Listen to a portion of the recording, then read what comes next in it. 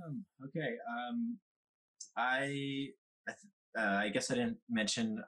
Uh, my name is Jake, and I'm a second year master student in the Energy Graduate Group, and I currently work on electric vehicle grid integration, um, but broadly interested in decarbonization and uh, decarbonization policy.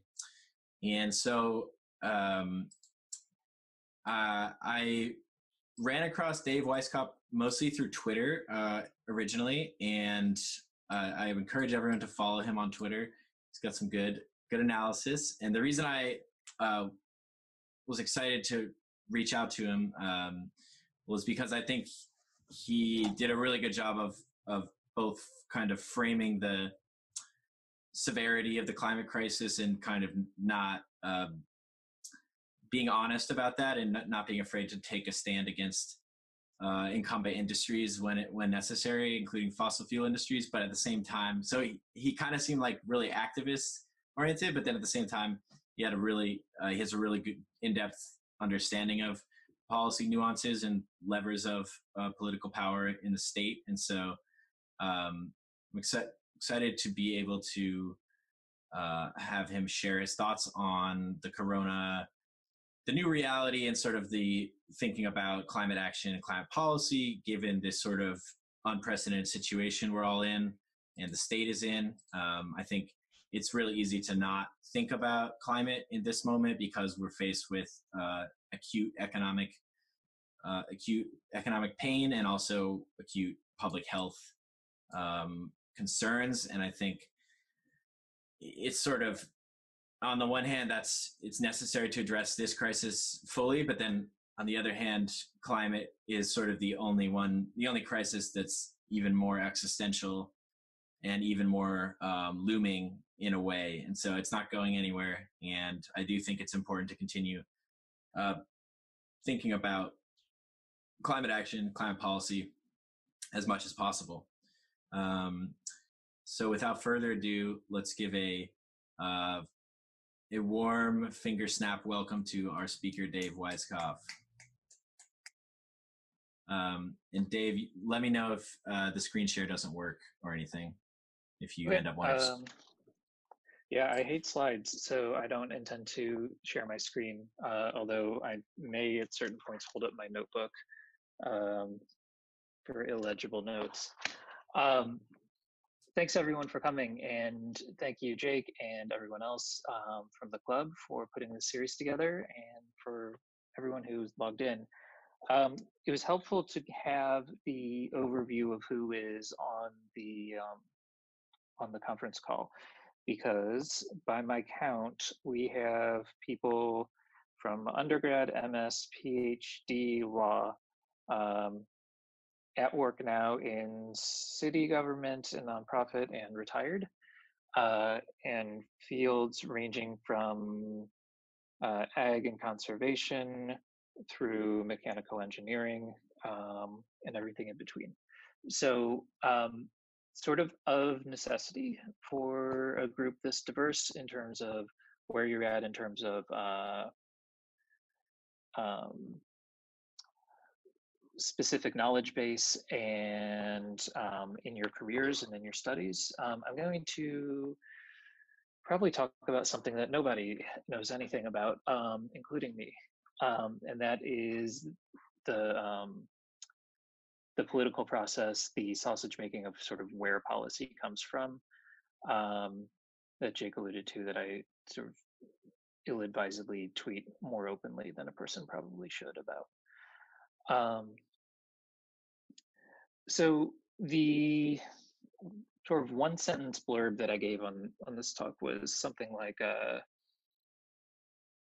um, dealing with the climate crisis, the um, global pandemic, and the massive recession that is now underway, uh, all at the same time while working from home.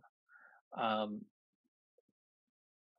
this sort of big story of climate advocacy of 2019 and 2020 has been kind of the emergence of a lot of um, a lot of sort of mass protests um, people driven energy around taking climate action. Um, the growth in research and technology um, and interest in, in kind of new ways of providing energy services uh, is something that's sort of been going on for a while uh, and it's been developing and certainly it's helped along by the amount of kind of mass political energy that's in the air. But the there's been a clear kind of um, breakthrough in public consciousness around climate really in the last maybe two years. Um, i don't know if you are aware of the podcast um, hot take that um, amy westervelt and mary heglar do but they in their first maybe three episodes of that podcast just kind of went through the reporting about climate change that existed you know in 2016 17 18 19 20 and um, there were these kind of clear lines of demarcation where after a certain point in 2018 uh, they stopped having to hunt for stories and started having to filter out a lot of stories. Um, so right in the midst of that change um, with a lot of energy around um, concepts like the green new deal um, a lot of talk about climate in the context of the presidential election where multiple candidates were running on the strength of their climate policy and where um, even the sort of least fleshed out climate plans among the presidential candidates is sort of miles ahead of what anyone has put forward previously. Um, right in the midst of that, literally right in the midst of the presidential primary, uh, we had Super Tuesday on March 3rd. Uh, we had City of San Francisco go into shelter in place, I want to say March 13th. Uh, we just had a primary in Wisconsin during the lockdown. Um, and everything has been really very notice like very literally um, sort of blown apart. Uh, we had this we had this moment where uh, it seemed like the big driver of change in climate world was that lots and lots of people were coming together. Um, people were in the midst of planning for um, you know, probably the biggest public demonstrations around climate uh, ever uh, on Earth Day. Uh, April 22nd, it was the 50th anniversary of Earth Day, and um, folks globally, including Greta Thunberg and and um, pretty much everyone else was planning, you know, in the city of Sacramento, will we get 10,000 people out? In San Francisco, will we get 100,000 people out? And so on um, and all those plans had to get put on hold. So that disruption um, in the public energy around climate action uh, has left a lot of us not so much um, how do I say it? It's not my job to be a um, to be an organizer. Uh, I work with some great organizers, uh, and it's their job. Um, it's and it's not most of the people that I work with every day. It's not their job either. I mostly work with legislators, regulators, um, expert staff at NGOs, um, people in government. But all of us are in kind of a very similar position around what's going on in the legislature and in the governor's office and every place else in the state. Um, in a way, we're seeing a disruption now that's very similar to the disruption we saw in November 2016 when Trump was elected. Um, at that time, the focus of the environmental movement was on the federal government uh, and we are making very sort of measurable progress towards um, a couple of key federal benchmarks. The Clean Power Plan had been finalized, which was the first ever regulation on carbon emissions from power plants. Um, the Obama administration was working on a plan essentially to wind down the federal coal leasing program. Uh, big reforms were happening to how uh, royalties for fossil fuel extraction on public lands were managed, uh, what's required of companies if they are entering bankruptcy and have um, obligations to their workers and to clean up the environmental remediation. And there were sort of all of these important but incremental things going on at the federal level. And then the next question was, of course, how could the presumptive Clinton administration be pushed to take all of those things up to the next level? Um, of course, what happened instead is that I and everybody else had to very quickly get used to um, not just putting the brakes on, but an active, you know, campaign of reversal of uh, of all of those things and everything else good in the world. Um, my role as uh, a person who works for NextGen, which is an organization that is um, unabashedly very progressive, uh, very much focused on pushing policymakers to um, take the steps that are required by science and general humanitarian principles. Um, and uh, our affiliation with Tom Steyer, who was, I think, the you know the largest individual Democratic political donor who um, led a campaign to impeach Donald Trump, um, really left at least me as an advocate who works kind of narrowly on specific climate policies in a position where uh, I was not the person that you would send into a room to negotiate with Andrew Wheeler or Scott Pruitt. Um, because we essentially just don't have anything to talk about. Um, it's clear to them that my position is the opposite of theirs. It's clear to me that their position is the opposite of mine.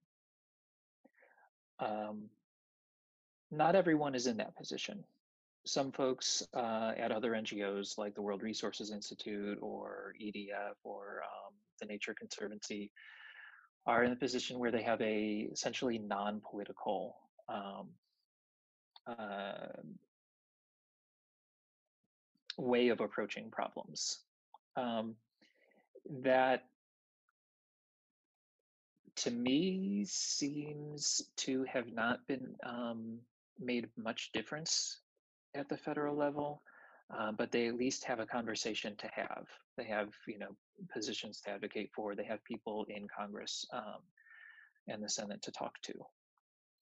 Um, but really, for the rest of us, uh, either you are a litigation oriented NGO like, say, the Sierra Club or NRDC or Earthjustice, um, who have big practices in litigation, who are um, working night and day to defend essentially every federal environmental protection.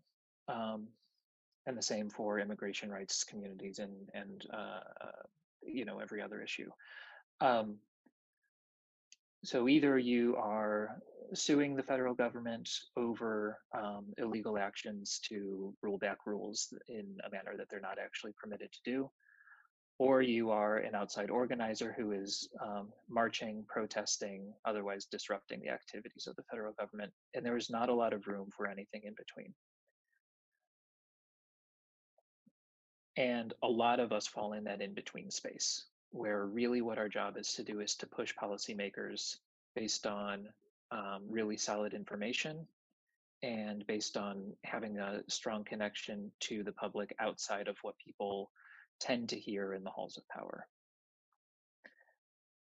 What I and a lot of us did uh, was shift our focus to state government. Um, is still possible to, for example, um, enact big changes to electricity uh, systems. So during that time, California in 20, I don't know if it was 2016 or 17, enacted a 50% RPS. Um, in 2019, we enacted a 100% clean energy standard. Uh, I believe at this point, seven, maybe eight states, uh, I forget if Virginia is number seven or eight, have enacted 100% clean energy standards. Uh, at the time that I um, started working on clean energy related issues in 2013 14 um, people didn't actually like to mention 100% as a topic um, it was sort of taboo in the in the environmental ngo community Um, so in the course of you know three or four years, that went from being something that you don't mention to something that is the law of the land in um, something like a fifth or a sixth of America by population. So that focus, um, that focus shift from federal government to state government meant um, that there was a, a, lot of learning to do and there was a lot of big changes. Uh, and we're essentially at that point again right now, where we didn't know what to do with the federal government. Um, and then a crisis emerged, or excuse me, in the wake of a crisis. And now we're in the same position again where a crisis has emerged that affects both the federal government and every state government. Okay, very long-winded backdrop. Um, I have like probably, you know, half an hour more stuff to go through, but I actually want to stop here and maybe invite a few questions and discussion before we go into talking a little bit about the specifics of California climate policy.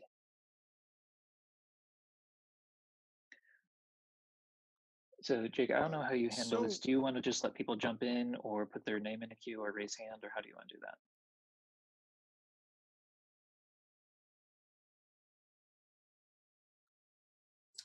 Uh, let's do. If you have a question, um, let's just let's just try it out. Um, try out just starting talking. If it doesn't work, then we can go to a chat-based system. Okay. Yeah. So actually, I have a kind of a, a question just to I don't know because I, I don't necessarily understand like fully how the process works, but in terms of like state legislation, how does um, how does the process like work with with trying to get like individual counties to move along with state things because I come from Kern County. Uh, Bakersfield's very conservative place, you know, and, and a lot of the economy is driven by oil. Um, like, how do you get, you know, like kind of the diversity of, of California's political actors to sort of work uh, towards towards climate uh, pro climate positions, I guess. yeah. Um, so this is I think uh, one of, if maybe uh, the most important question. Uh, it's the same question that you have at the national level about moving different states along, um, moving different constituencies, um, sort of interstate constituency groups. Um, uh, Jake, I am assuming slash hoping that you're going to get Leah to give one of these talks. Um, her book is really invaluable. Leah Stokes has written a really, really valuable book, um, essentially on this topic. And what she does there is uh, she lays out a theory of political process that um, I think better than most processes takes account of the way laws kind of actually get written. And there are a bunch of factors there that she can present much better than I can.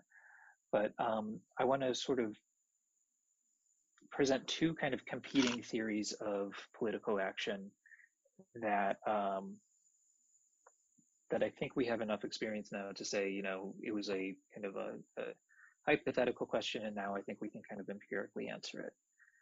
One theory of political action, um, especially specifically around climate, is the one um, espoused by in one version or another. Um, by a lot of clean energy industries, by the Citizens Climate Lobby, um, by a lot of conservation groups.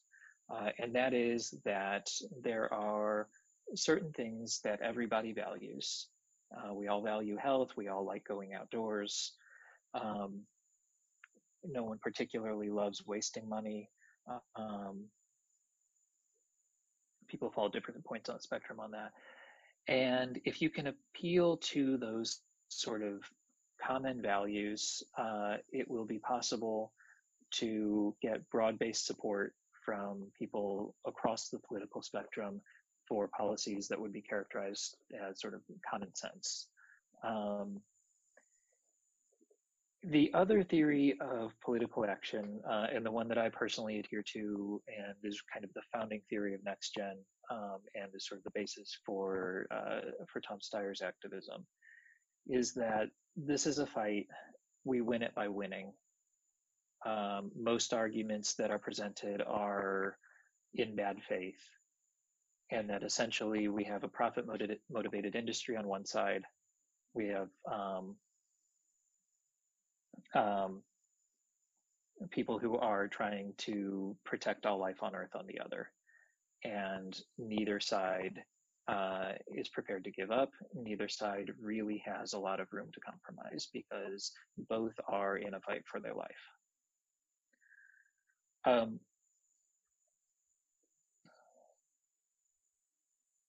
I think that my theory that this is a fight is correct. Um, I think that you probably don't need more evidence for that than observing the process that's played out in Oregon over the last couple of years, where advocates worked very, very hard um, to develop a consensus based, really very modest um, cap and invest climate policy.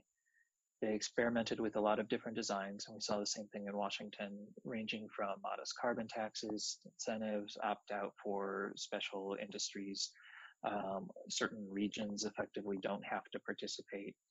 And the process was watered down and watered down and watered down until really enacting the bill um, was almost just symbolic of the state saying it's the policy of the state that we care enough about climate change to at least do a little something. That line um, was enough for um, politically motivated actors in the Oregon state legislature to walk out, to flee the state, um, to shut down the legislature and deny the ability to seat a quorum. So they couldn't vote on just essential core items of government on this topic or any other. Um, Governor Kate Brown in Oregon was within her rights constitutionally to send state marshals to actually um, arrests representatives who refused to show up for work. Um, when that topic was breached, um, multiple members of the Republican caucus um, made some pretty inflammatory statements. One essentially, um, uh, you know, walked right up to the edge of threatening to shoot anybody who came and tried to arrest him. Um, um, members of extremist white supremacist groups sort of, you know, offered protection to these governor or to these um, representatives in hiding. Uh, and there's very little disavowal or attempt to disavow that, that association. So the idea that a consensus-based policy is possible that will bring along constituencies currently opposed um, has been tried a lot and for a long time. Arguably, the essentially the entire Obama administration was an experiment in that that failed. Um, to the point that all that he was able to do was enact uh, rules through his agencies and not do anything legislatively. Um, so the question then of how do you get reluctant counties to come along or reluctant constituencies? Um, you win first. And that's not always possible, but ultimately it's the only thing that works. Because what does happen is that um, dynamics start to change after you win. And we see this in California's clean energy systems. Um, Kern County, which is uh, along with LA County, um, but especially Kern County, um, the seat of oil production in California is also the place in California where uh, the largest number of solar installations are built. Now, that solar pol policy was enacted um, in stages and over time. Uh, and the investments that came to Kern County uh, came there essentially despite uh, Republican opposition from time immemorial, certainly from the 70s on.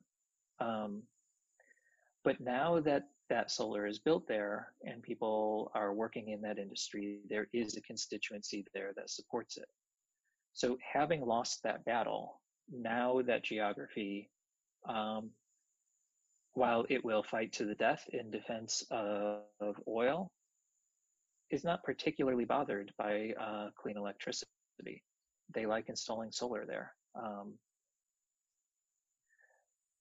we see that same thing with different interest groups. If you are a labor union whose job it is to install and maintain natural gas pipelines, your position on building electrification is very different from if you are a labor group whose job it is to install and maintain electricity lines. Um, it's not a super pleasant answer. I wish that there were a nicer one. Um, but I think that that I think that that is the answer. It's not that you you know you don't convince Kern County to do the right thing on climate. You win at the state level by building up enough power in other places, so that Kern County ends up um, against its will, essentially discovering the benefits of this transition. Uh, and then once those benefits materialize, the opposition starts to disappear.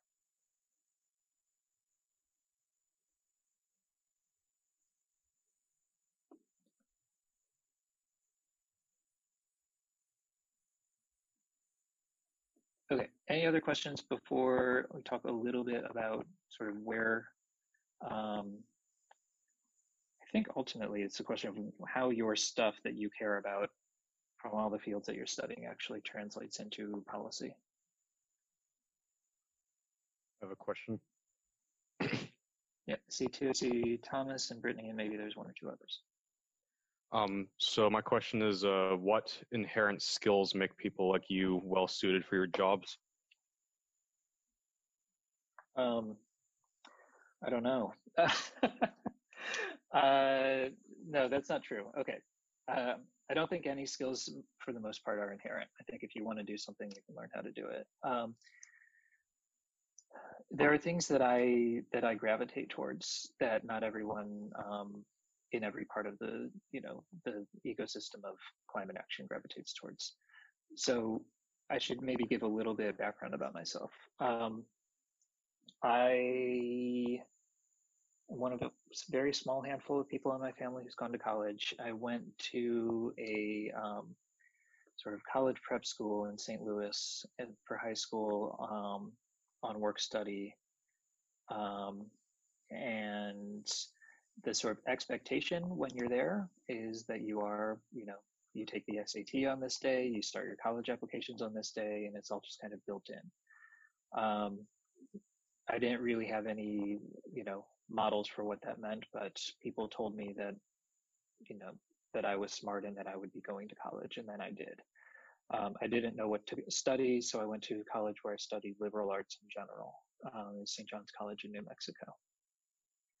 Um, same dynamic played out there.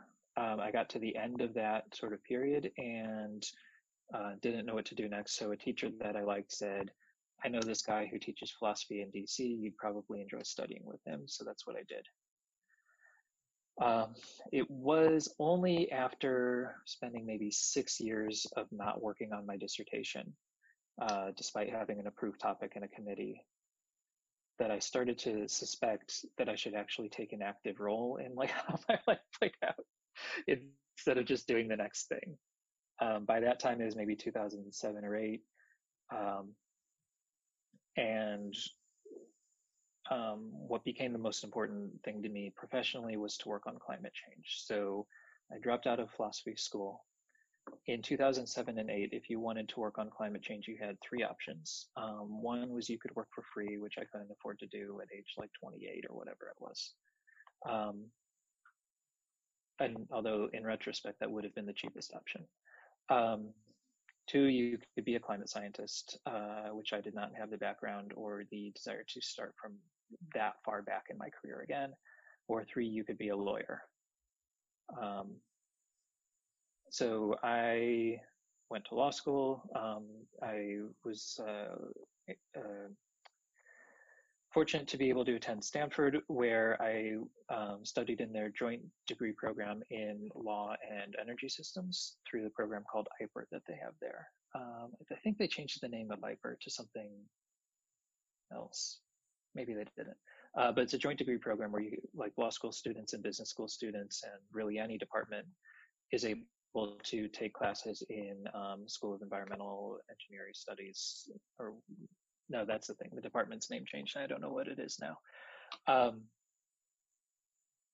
okay, so that's oh through the course of that process, the skills that I acquired were a systems view on problems, um, the ability to talk and to write, um, the ability to read things that are written very poorly, like philosophy texts and law um, opinions.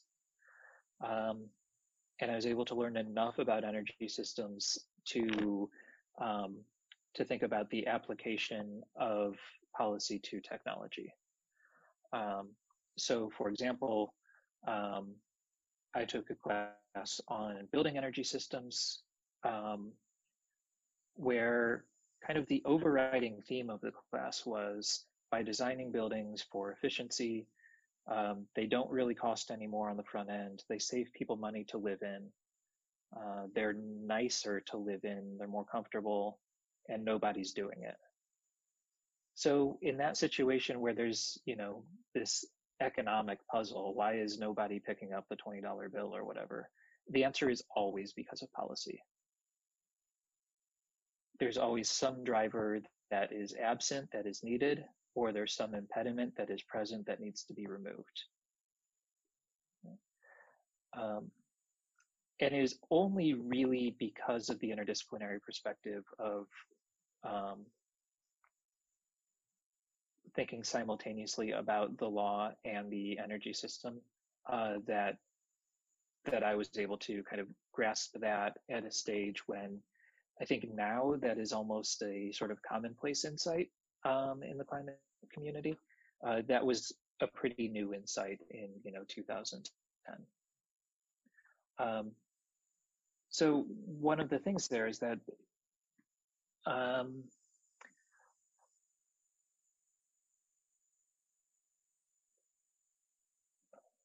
so for my particular skills that enable me to work kind of at the intersection of multiple issues and on policymaking is the ability to um, think across fields and to identify um, that the solution to a problem in field A might actually lie in field B rather than in field A.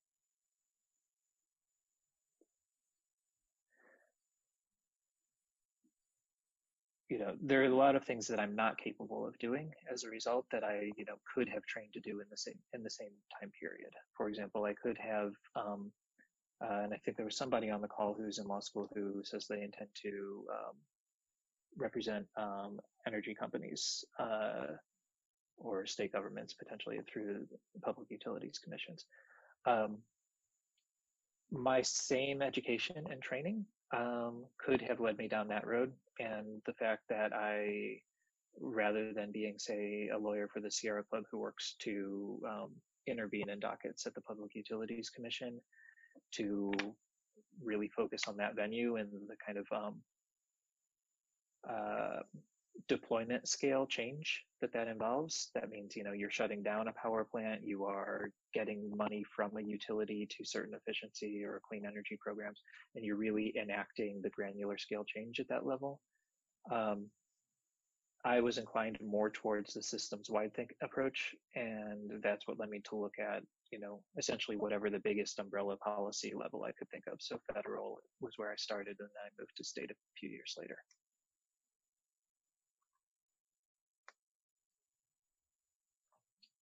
Thank you.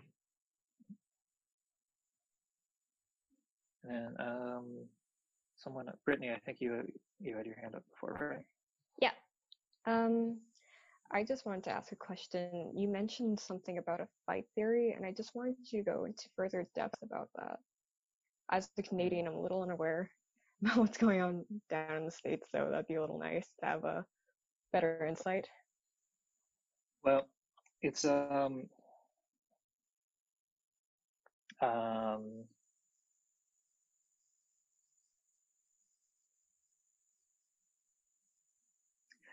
a lot of questions are a close call. So the California legislature is um, two thirds Democrat, which um, I think a lot of folks take to mean that we can enact whatever policy um, we want, no matter how progressive. Um, it's not really true, though because um, there's a lot that we are able to do that is not that is not sort of on the table in other states. But every difficult thing, every every everything that's not currently being done has to be fought for. Um, because there's some reason why it's not being done. And usually it's because there's somebody who's making money off of the fact that it's not being done. So if you think about the structure of, let's just say, an oil company and how policy affects them. If I um, if I own an oil company, I make money by selling oil. Uh, I actually don't, but let's leave that aside for a second um, if I'm not able to sell a lot of oil, then I can't justify um, all of the money. Um, so someone from another side, someone from say an, an environmental group um, says that we should enact a policy that um, will make cars run on less gasoline, right? If I can go 100 miles a gallon instead of 30 miles a gallon. Technologically, um, I think you know many people on this call know how to make that work. Um, every car company knows how to make that work at this point. Um, but doing it's going to require some changes. Doing that is going to mean that some investments have to be made. Um, it means that you know if somebody takes a gamble on producing those cars, uh, they're going to have to invest a bunch of money, and then there's no guarantee that their cars will sell better than everybody else's cars because how well things sell is based on marketing, not based on the quality of the product. Right? And so that's risky. It won't, and nobody really wants to take that risk um, because uh, if you already have tons of money, um, you don't necessarily need to change. You can just keep making money the same way you're currently making money. And if you don't currently have tons of money, then you don't current then you don't really have a lot of room to take huge risks. So in order to enact that policy, I have um, no profit motive really backing advocates of that policy change. I have people who want to do it potentially because may, in that changed environment, they think they're in a position to make money, but they don't have the money yet and we have people who want to do it because they know it's the right thing to prevent all life on earth from um, being subject to horrible conditions that might only get worse forever right um, on the other side you have an oil company and maybe you have people who don't want to have to make big changes to the way they do business but let's just focus on the oil company let's imagine that a small policy change will cost my business $1 billion. Um, and that policy change might be enacted by the state of California, where there are 120 legislators and one governor. So the question then in my mind is Does it cost me less than $1 billion to influence 121 people to make a decision that favors me? And if it costs me less than a billion dollars, it is um, profitable to spend as much money up to that level to try to influence those people in order to keep the favorable policy. In practice, it costs much, much, much, much, much less. Um, and when you think about that profit motive, every dollar invested by polluting industries in order to prevent those policy changes has a massive return on investment people sometimes complain that lobbyists are paid so much, but they are a bargain. If I pay, you know, I think that Chevron spent, I'm going to get the number wrong. Let's call it 5 million or 10 million or so last year in California. Uh, you can look it up. I'm not sure what exactly the number. Um, a single regulatory decision at the California Air Resources Board um, saved them $365 million. So if they spent $10 million just on that one decision, which they didn't, um, That was a small fraction of the of the you know efforts that they did to influence policy. Um, that had a you know 100x return on investment. So that's why it's a fight, because while politicians um, often want to do the right thing, politicians often, in some cases, are not persuadable by um, profit-driven industry groups. Um, um, and the concerns that motivate activists often motivate politicians. People a lot of times go into politics because they're civic minded and they actually care about stuff. People want to do what their constituents want them to do. You know, that said, if I can hire 50 lobbyists who are going to knock on your door every day, 10 times a day, um, if I'm going to have the implicit or explicit threat that I will run a very costly electoral race against you if you don't vote my way, and then I do that a hundred times over, um, a few of those times you're just going to not be able to keep up the fight against that level of, um, let's call it pestering, right? You get worn down. You hear from one side over and over and over and over and over again. And then the other side, you start to look for things that you can concede. And that, that's why that's why the fight theory of change is is sort of what motivates me um, because that's the way decisions tend to get made in this context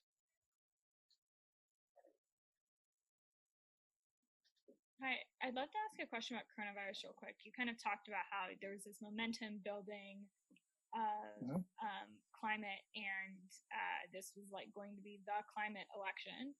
Um, and and now that's changed a lot. And I'm wondering from your conversations with activists, other organizing folks mm-hmm. within the climate community, how are people addressing this? Because some climate organizations that I've talked to are literally like, we're not talking about climate. We're gonna only talk about coronavirus.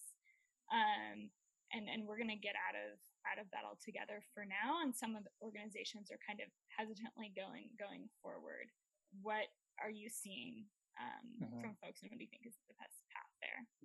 Yeah, people are figuring this out still. Um, let me take a detour and get back to the answer to your question. Um, okay, uh, let me.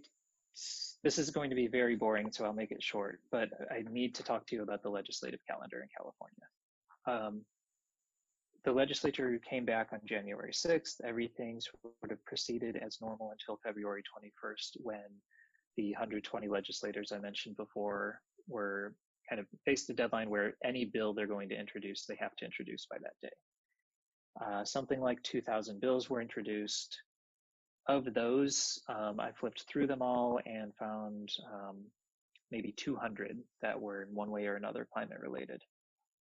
Um, of those, I sort of winnowed out maybe 50, and there were some really big things on that list things like a law to enact a um, standard for carbon for California to achieve carbon neutrality. Um, uh, you'll hear about SB 50 from another one of your speakers. There was a bill to enact um, regional standards for reducing vehicle miles traveled. There's a bill to deploy a million chargers throughout the state by a certain date. There's a bill to um, limit physically how far an oil well uh, or how close an oil well is allowed to get to a house or a playground. Really big, hard things. Um, and there were a lot of them. Um, the legislature sort of closed. Uh,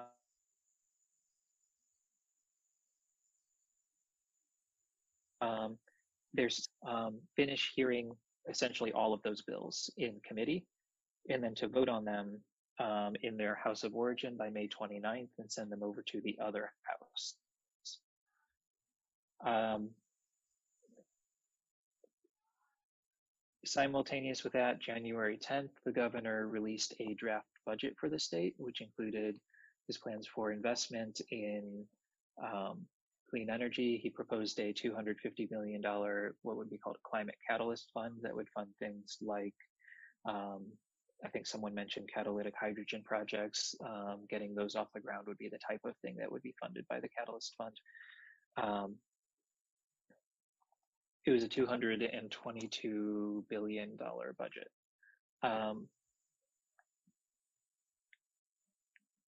Once the shelter in place orders came, um, California's everything changed. Um, we are required by the state constitution to enact a budget by June 15th. And so that budget is going to be basically how much does it cost to keep the lights on and to maintain like basic level state operations. Anything that's sort of a policy, like an expression of policy, besides we still exist as a state, will not be reflected in that June budget. Um, with the exception that we will spend some money on um, addressing the pandemic. Yeah, I need to switch to.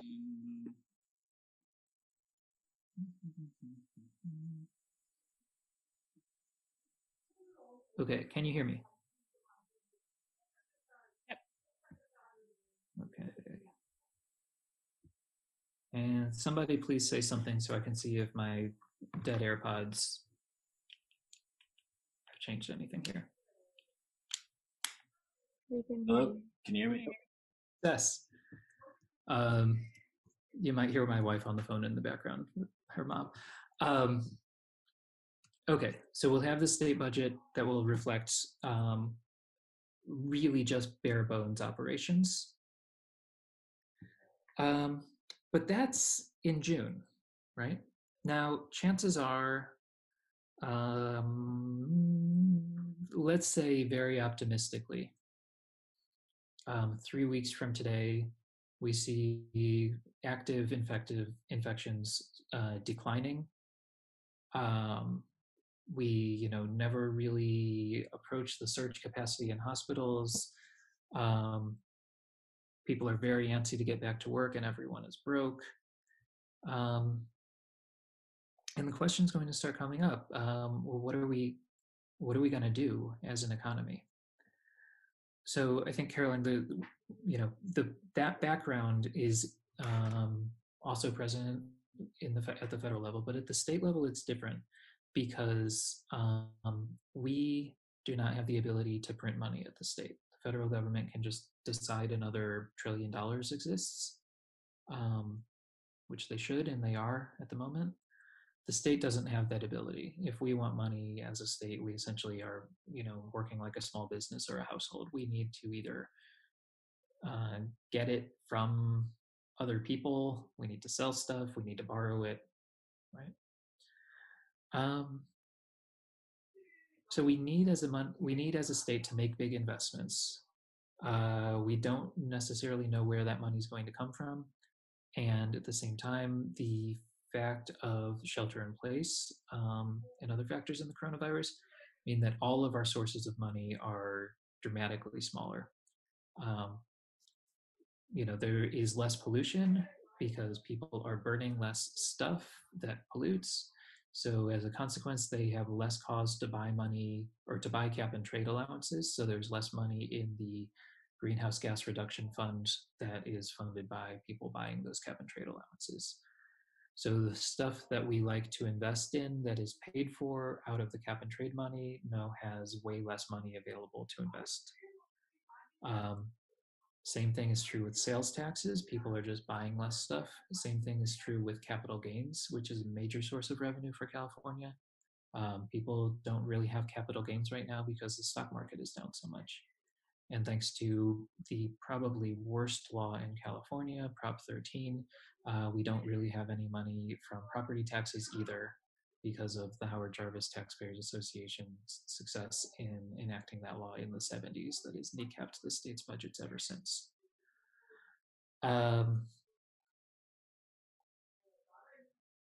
okay, so to the question then, what's that have to do with climate advocacy? Uh, climate advocates that are speaking sort of at the intersection of coronavirus and their climate related advocacy goals are probably thinking about what happened in 2008.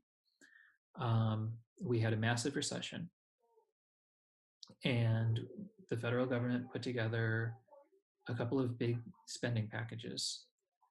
And part of those spending packages um, included the investment and production tax credits for renewable energy, which uh, essentially created the conditions for renewable energy to finally take off after decades of opposition. There was a crisis. That crisis was uh, also an opportunity. That opportunity was seized, uh, and at least one sector of the economy is better off today because of it. A lot of folks are looking at the federal government right now the same way, but there's a really important difference, which is that Trump and Mitch McConnell actively oppose things that Democrats and pro climate people want, even if they benefit business, even if they benefit um, districts that tend to vote Republican. It's ideological, um, and they're not persuaded by just the fact that it's a good idea, even for them financially, materially. For that reason, um, and also just out of a concern that uh, the crisis is so acute and so immediate right now around the um, just uh, impossible to contemplate horrors of you know people contracting this virus and dying from it that a lot of advocates think if i speak up it is um, potentially insensitive to that suffering to talk about anything about that suffering in a most in its most immediate and direct way or it's strategically backwards because uh, maybe somebody can advocate for getting something good done uh, but it shouldn't be me because if i advocate for it then it will just draw more opposition. A lot of groups are trying to navigate that. In california we are not in that position. Um, Governor Newsom um, is really focused on the immediate crisis, but he, I think, is also focused on, or rather, he is also cognizant of the fact that the immediate crisis won't last forever, and that coming out of it, um, we're going to have the choice to come out of it in a smart way or a stupid way. So he doesn't have the same tools at his disposal as the federal government does but there's an opportunity in California to um, say that um, once we get out of this immediate worst stage, we should be making decisions that keep the long view in mind, that make us more resilient against the next crisis, that reduce the size of the next crisis, that keep in mind that fire season is coming, COVID or not. Um, and that we have you know really critical needs um, every year that are climate related. So i don't know um, i don't know if that answers your question caroline but i think it's these are the types of things that i think people are weighing in this context.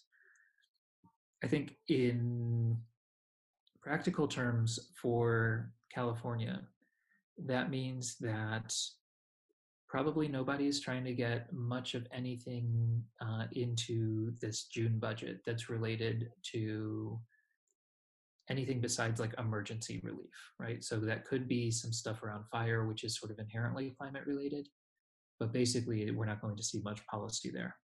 That said, the session goes until August 31st. The veto deadline is September 30th. Both of those actually can be moved anything really up to November 3rd, November 30th, there's a little bit of flexibility on. So we'll probably see subsequent supplements to the budget.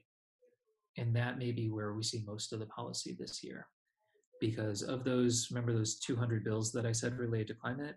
I'd be surprised if, you know, 10 of them get heard at this point. But maybe some of them will get done through executive action. Maybe some of them will get done uh, through the budget process. So I think that people are looking, just like we kind of always do, when one avenue's cut off, we look for other avenues.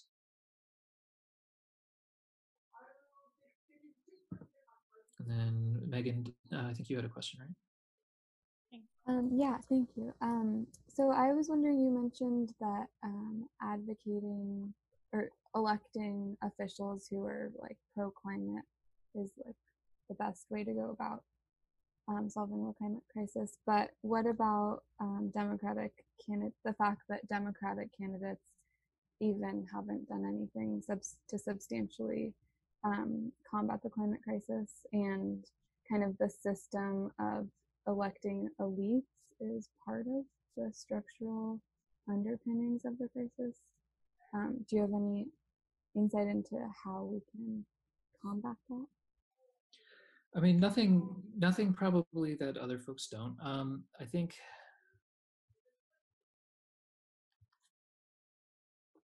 what you're seeing with, um, how do you say, what you've seen that's really driven ideological drift rightward on the right has been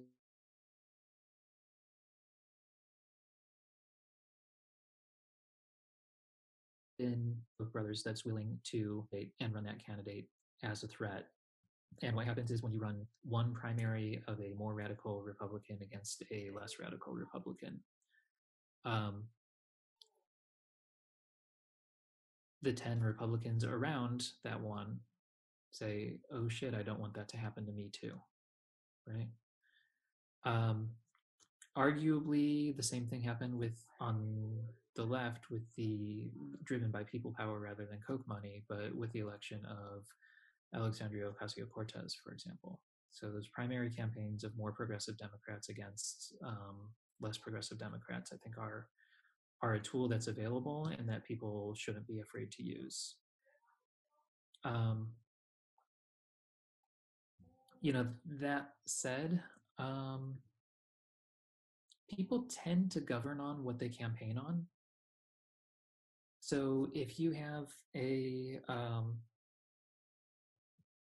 if you have a Democrat that campaigns on climate, that creates an opportunity to stay engaged with that candidate after they win election, even if they are a you know even if they're sort of less inclined to take steps you know at the scale that science demands they might not introduce that bill, but they may be a gettable vote for that bill. Um, and I think for um, ever, I guess, really, uh, very few candidates have run on climate because they can win without running on climate. And so the just really direct organizing pressure to force candidates to go on the record on issues like climate um, also gives you tools for holding them accountable when they're in office. So confronting them at public meetings, confronting candidates, um, um, asking them questions in interviews, writing up, you know, assessments of what their platform looks like and whether it comports. All of these are actually pretty effective tools for helping to move people who are um, gettable, but maybe not prioritizing the issue right now.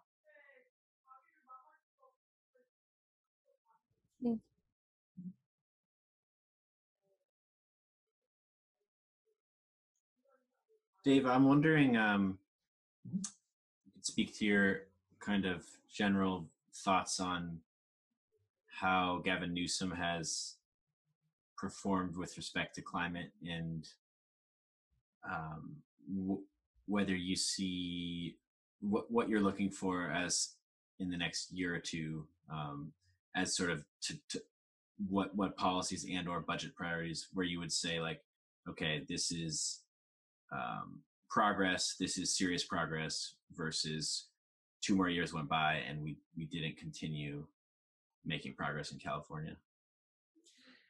Yeah this is another one of those questions that the answer that i would have given you you know two months ago might be different from the answer that i give you right now um, and I'm not sure if I know what the answer right now is, so I'll, I'll, try to answer. um, I think that Governor Newsom um, wants the state to do well on climate. He sees the targets that we have, like making a 40% emission reduction by 2030, as things that need to be achieved. Um, I think that he you know, will tell you himself that he is not Jerry Brown and he's not making climate like a signature issue for himself in that way. But, you know, I think he also has a case to make that Jerry Brown set the table, um, set you know achievable but ambitious targets, and now it's his job to make these sort of practical changes in policy that it, that enact those targets. Um, and you know, different people will be more or less satisfied with that answer. So the way that I think that this governor thinks about achieving the climate targets, though, is to say, um, look at transportation emissions, uh, which are climbing still and are 40% of the emissions in the state. Um, how do we address that? One way to address that is to invest lots and lots of money in vehicle electrification. Um, I think he should do that. Um, I've advocated for him to invest to focus more on that, um, and so have others. Uh, and so far, he has not, you know, made that like a core policy priority. Um, but you know, he isn't. Um, I don't want to, you know, overstate the the the lack of progress there. I think progress is being made, but it's not, you know, the idea of just spend a shit ton of money on vehicle electrification and charging infrastructure uh, is to me kind of the most straightforward way to address transportation emissions. But it has problems. Um, it doesn't address a lot of other problems. Um, his approach is to say we also have a housing crisis. Housing that housing crisis increases VMT. Um, in some cases really extreme amounts. That's related to our poverty crisis. That's also related to our homelessness crisis. Let's address all four of these crises at the same time uh, through a systemic, systematic policy that you know I will call housing policy, but is really addressing four things together. Um, I think that that's how he's approaching most climate related issues. Uh, you can see that a little bit reflected in his executive order they put out last fall that essentially says I'm directing all state agencies to work together to integrate our climate targets into the, what they're doing.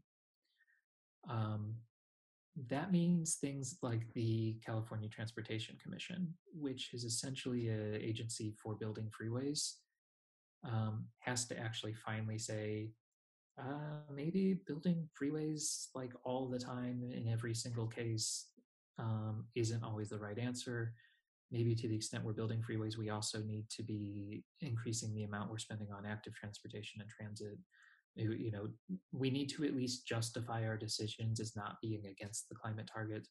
And so there's these little changes of uh, saying something you weren't thinking about before, you have to think about now. Um, that you can see reflected uh, at the Natural Resources Agency, at Caltrans, um, at well, especially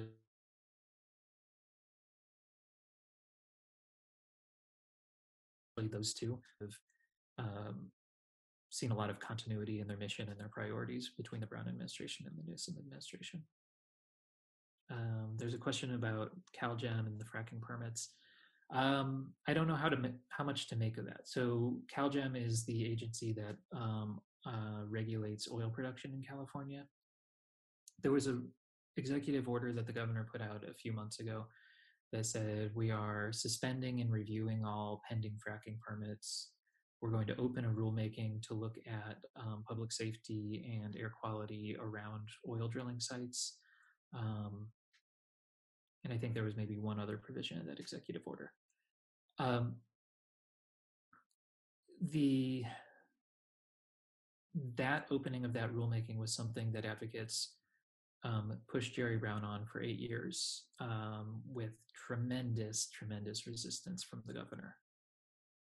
Um, the order that Newsom put out to that effect uh, did not meet the full suite of demands of the advocates who are pushing on Governor Brown and then Governor Newsom on um, better regulating oil production. Um, but it shows that shift. It shows that from being dead set against doing anything, um, anything like that, like Jerry Brown was, to looking for a path forward on some of these sticky, you know, on the ground issues. The fact that 24 fracking permits were just issued Um, I think, but don't quote me on this. Well, I mean, you're recording it, but the point is, I'm, I, I would not, I would not swear to this uh, interpretation. My guess is that the terms of that EO said that all the permits needed to be reviewed. Um, that review occurred for these permits, and that essentially no further reason for holding them could be found um, within you know the scope of existing law and that to deny them based on what they found in the review um, or to hold them you know after the re- review been completed would potentially create legal liability or would be a show of bad faith or to show that the you know that the eo was uh, uh, in being interpreted more stringently than it's actually written or something like that I, you know, I don't think that this governor wants to be issuing fracking permits uh, necessarily. I don't know that, but I don't know that not issuing them is such a high priority for him that he's willing to take that level of risk. Um, so that's, um, I mean, the fact that those things are on the table and then have been in the pipeline long enough to get to the point where they are issued now is a show that there's a need for changed policy. Um, but I I would guess without having actual knowledge uh, that these are things that have been in the works for long enough that it was sort of not credible or possible to hold them up longer in you know according to their interpretation of the law. Um, going forward though you could say um, there are these new restrictions there are these new conditions that have to be met and maybe a permit like the ones that were just issued uh, couldn't be issued in the future because of the change in the law. You know, that said, in light of um, the global, you know, oil price war that's going on right now, um, California's oil industry is going to be among the hardest hit in the state, among the among the hardest hit industries in the state. You can't produce oil in California for twenty dollars a barrel. You can't produce it for thirty dollars a barrel. Um, California oil is extraordinarily expensive and dirty. Uh, and the fact that it continues to be produced at all is merely a function of the fact that we have not reduced our demand for oil and that oil prices have been, you know, north of a certain benchmark for a while. Um, planning for a, just and stable transition that protects the workers and the economy that are depend on dependent on those industries um, when those industries go bankrupt is something that I and others have been pushing for forever, and that folks in power um, who are you know influenced mostly by oil companies don't want to deal with. Um, they don't want to plan for the day when oil stops being you know the backbone of Kern County's economy um, because oil doesn't ever want to stop. And it, let's say if we can't produce at a profit, we want a government bailout. You know, Plan B is always to get more money from somewhere to keep making money. Um, and so the idea of coming up with a sort of smart, just transition plan is anathema to those industries. And I think, uh, and it's really sad to me and to a lot of people who, you know, um, who come from places not so different from Kern County, uh, that essentially they are walking off of a cliff into this economic destruction that they're facing now when their oil industry is going to be just absolutely decimated by $20 per barrel prices. David, um, I'd like to back up just a second. Uh, your comment about uh, Newsom wanting to take an integrated approach to land use planning, housing affordability, homelessness, etc. Um, has have there been any discussions in terms of enforcement of SB 375? Uh, yeah, but SB 375, this is a bill that creates sustainable community strategies. It requires, you know, regions to um, uh, to plan smartly. Uh, was enacted without any enforcement provision. Um, there's no lever there. So one of the things potentially on the table this year was um, taking another crack at SB 375 that um, Ben Allen had proposed a bill to establish regional VMT reduction targets. Um, you know, I'd be surprised if a big ambitious bill like that goes forward in this context, but it's certainly, I think, on people's mind. Uh, you know, in the meantime, though, just yesterday, day before, um, Caltrans issued a new memo saying we're finally implementing, uh, there's a complementary bill to SB 375 that said the way we interpret uh, CEQA, environmental review law in California, um, is to treat vehicle miles traveled as an environmental impact. Um, and Caltrans now, finally, seven years later, is going to say, in evaluating this highway project, we have to consider whether it's inducing additional vehicles mile vehicle miles traveled. And if it is, they have to be mitigated or the project has to be redone so that it doesn't induce that as VMT. So we're starting to see little tweaks like that that look like SB 375 enforcement, even though they might not be literally SB 375 enforcement.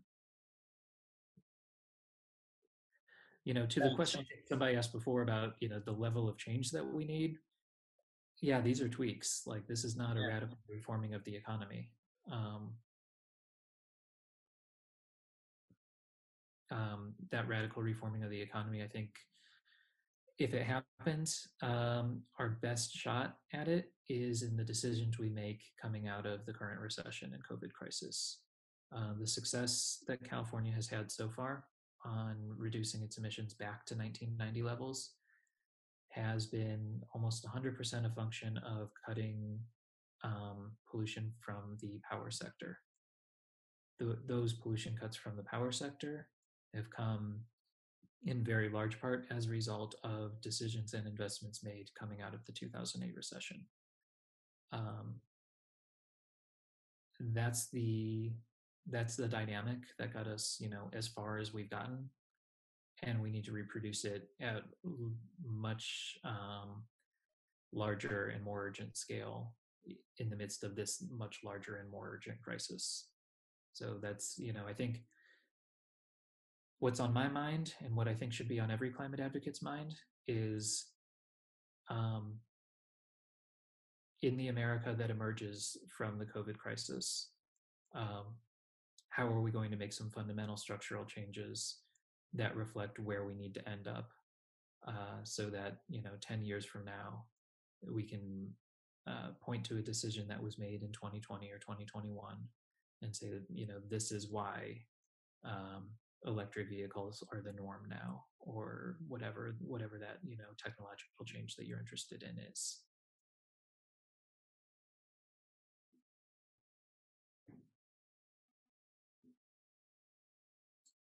Uh, I was wondering if you could go into a little more depth about how you view this crisis for oil for American-based oil companies, because I'm trying to wrap my head around the, the, the ramifications of it. Because in some sense, it's sort of a parallel to like the ultimate death spiral of of demand shock with oil companies. Um, and sort of like when people talk about the uh, the carbon bubble bursting when we finally you know investors don't view uh, oil majors as as worthwhile investments you know that that's not going to be because we've run out of oil it's because we we get off of it. And so how it so there's sort of like some similarities to that in this current acute demand shock but then obviously the demand is going to go back up. And how do you view that and what are the opportunities for leverage um, yeah. Well so yeah so right now there's a massive demand destruction for everything including oil right? Um, at a certain point though will i be able to keep telecommuting? I mean i'm not a great example because i bike to work but will other people um, will people who currently drive to work five days a week start only having to drive to work two days a week. Um, little changes like that um, may make a big difference. And then let's say that telecommuting is kind of the um, the knife's edge, right? Then people are using their car a little bit less, and then the car feels a little bit less essential to who they are as a person. And then the idea of, of um, wanting to be able to walk safely becomes more salient and more important. Maybe the fact of um, reconnecting with being outdoors uh, or being at home a lot has, has changed people's perspective. There, there are little snowball things like that that may occur. And if in that window we say, um, traffic's down, maybe this is a good time for us to remove some driving lanes and replace, um, or some parking lanes and replace them uh, with parklets and EV charging. Um, maybe we can replace driving lanes with bike lanes, right?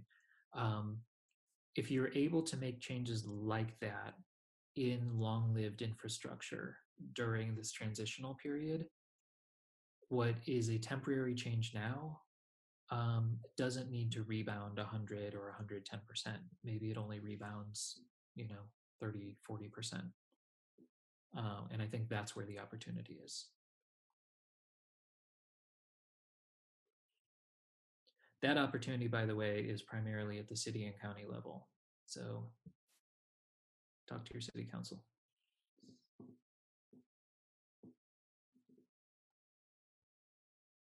All right, I think we are over time. Um, Yep. Um, any last last words of wisdom for or uh, call to action for uh, for any anyone uh, in this call?